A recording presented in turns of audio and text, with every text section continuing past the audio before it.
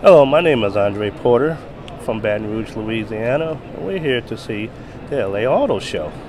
And my wife? I'm Yvonne Porter, and we're very excited to be in LA for the auto show for the showing of the 2014 Ford Fiesta. And we also have.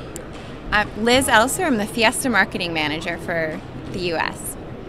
So, Liz, we would like to know what are the new features of the 2014 Ford Fiesta as opposed to the 2013 Ford Fiesta?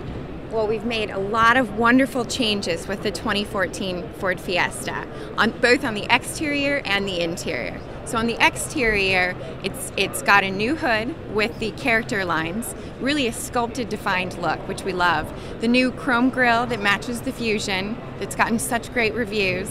Um, new laser cut thin headlamps on the front, new fog lamps, new wheels on the interior. We've done all sorts of things to pack it with great features and content. We've added, most notably, My Ford Touch, and then we also have the uh, rear view camera and parking sensors for those of us that are parking challenged.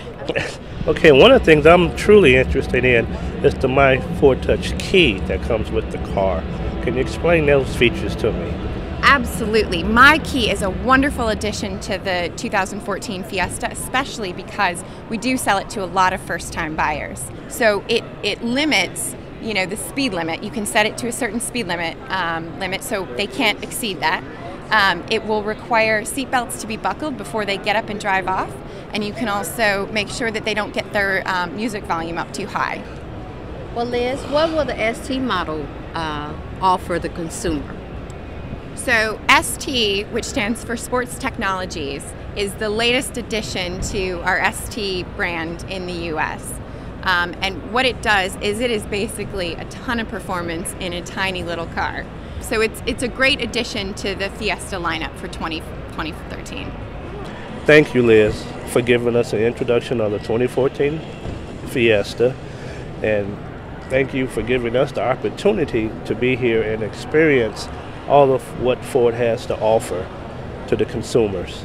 Absolutely. Thank you, Andre and Yvonne. It's, it was so lovely talking to you guys today about the Fiesta, and I'm so glad to hear that you like it.